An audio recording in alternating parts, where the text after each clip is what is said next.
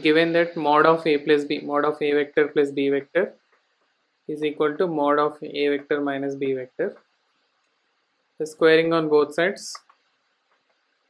So we had mod of a plus b square is equal to a minus b square.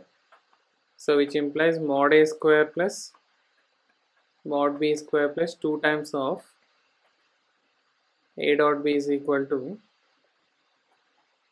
mod a square min plus mod b square minus 2 times of a dot b.